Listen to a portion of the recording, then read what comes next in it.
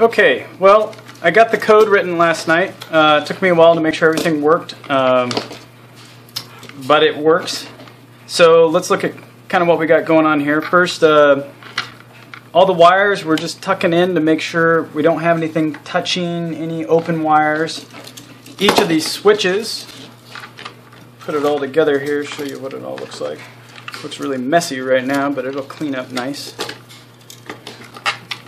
What I have set up is that this switch will control this uh, outlet, this switch will control this outlet, and what that means is that the Arduino that's inside, the control unit way back there, it will normally uh, automatically turn the relays on, or the relay on that will power both of these, it'll energize both of these, and that will turn on the fans and the heaters. If something goes wrong, I want to be able to quickly turn those heaters and fans off on site without having to go and log into the computer system uh, right now, I don't have that control system set up to where I could do it from my uh, the ARM-based computer that I eventually want to have. So that means I can run over and I can turn these switches. Here's the on position. I can turn them to off and power down everything locally. So that will keep us a lot safer. We got the ground, the neutral, and the line. And what those are going to plug into eventually is we'll have the main power coming in right there, and the main power will continue going out to other electrical units. So this will be put in line. So the next step here is to actually go mount this. Uh, I put mounting holes in, those two holes right there. We will mount it to the galvanized steel uh, through there, right there and there with some self-tapping screws. It will connect to the internet, uh, to the server, excuse me, uh, via Wi-Fi. Coming out the back right here, we have two temperature sensors. One of these is going to go inside the habitat and the other one will go outside of the habitat. And I didn't like, right now I just have them running straight through, but in the future I actually want to get a connector type so that I can unplug them, plug them in. You don't have all these wires. But for right now I need to get this thing up so we can start controlling those heaters more accurately. So we got all of our fit done. We got code written and right now, so, and of course, this will sit on top of all this once we get it all put together, so it'll be nice and pretty. That's it. It's time to go install. Hey everybody, Mission Control. Okay, well, it's time to install our Arduino control unit uh, for HVAC. Uh, it's going to control the circulating fan inside of lanes 2 and 3, as well as the heaters inside of lanes 2 and 3. It's programmed to turn on at the top of every hour and run for 15 minutes. Now I can adjust that uh, so it can run as long as I want. This will save us fuel. It'll also cut down on the amount of fumes that come off of the uh, uh, diesel slash kerosene heater. So we're going to go ahead and start mounting this. I've pre-drilled the holes for the mount. This is going to be the outside thermometer and it's going to go right through the building just like this. It's a little Velcro right there. Be able to have that outside. This is going to be our inside thermometer. I'll probably Velcro it right up here.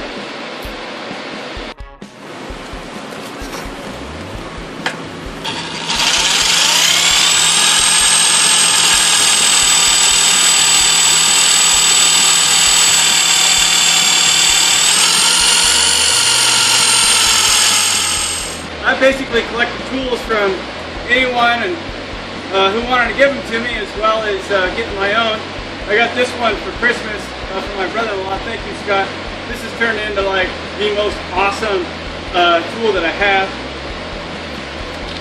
I'm gonna mount it now. I got some self-tapping screws.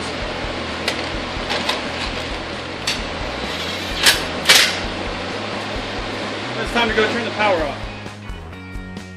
Okay, I got it open. I'm gonna do a quick test with my voltmeter here. It's dead, so I'm okay to touch it. Next step here is I got to expose these wires so I can get to them. So I've cut myself too many times. I like to do this a little bit safer these days.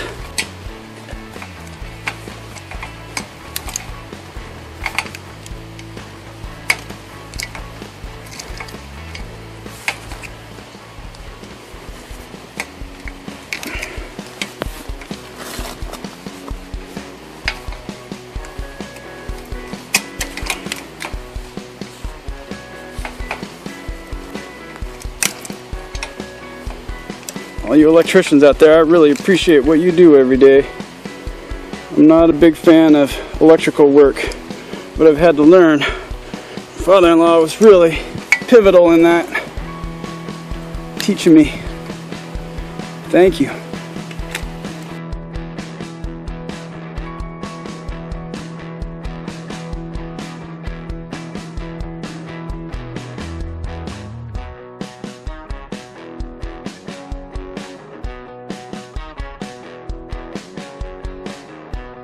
Man, oh man, that looks like a mess.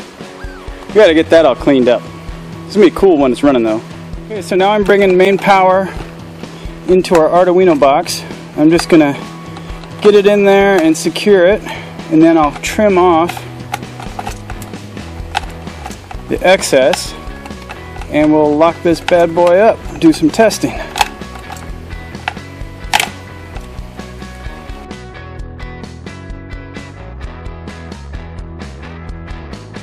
Okay, so we just turned the power on.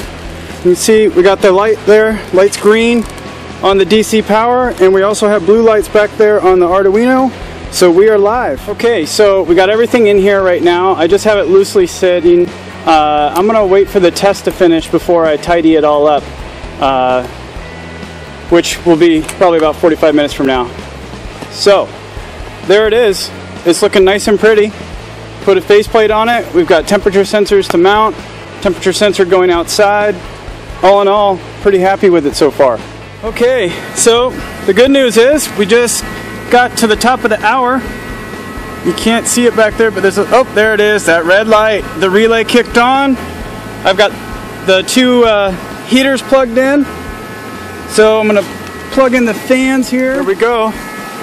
The heater kicked on and the fan is going. Go over to lane three.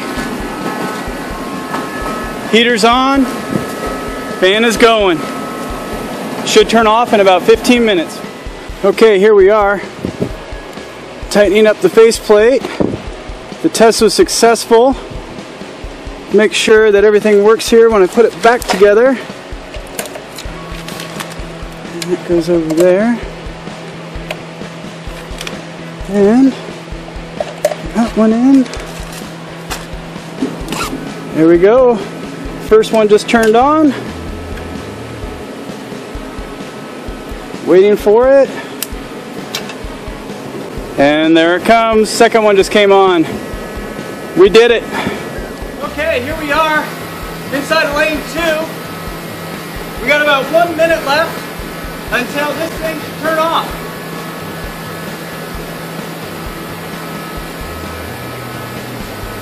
Our microgreens, by the way, are doing really, really well. It's 52 degrees Fahrenheit in here right now, and I've only had this thing going 15 minutes. It's about 17 degrees Fahrenheit outside. We have the sun out today. I think we're gonna make it. Yay! Yay! It worked! It turned off right on time.